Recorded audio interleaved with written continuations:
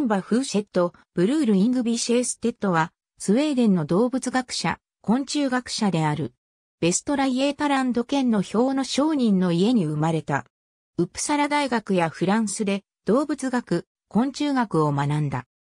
スウェーデン王立科学アカデミーによって2年間、カメルーンに研究調査に派遣され、自然史博物館、ウプサラ大学動物学研究所に貴重な資料をもたらし、多くの科学論文書いた。帰国後1896年に博士号を得て、1897年から1901年まで、スウェーデン自然史博物館、昆虫研究所で働き、1902年に自然史博物館の特別教授となった。1905年に2度目のアフリカ探検を行い、1年半ほどキリマンジャロの周辺など、アフリカ大陸内陸部を探検し、4300種の標本を集め、約1300種はそれまで知られていないものであった。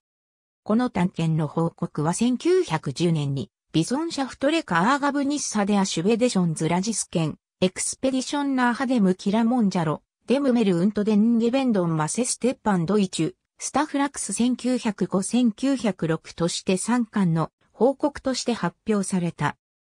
本来は昆虫学や動物学を専門としているのにもかかわらず植物の命名者としても名を残しているのは、この探検報告中で、アリ植物であるアカキやドレパノロビウムやアケーシャ物性について触れ、すでに植物学者、ヘルマン・ハルムズにより記載されていた2種を、初めて学名が有効な状態としたことなどによるためである。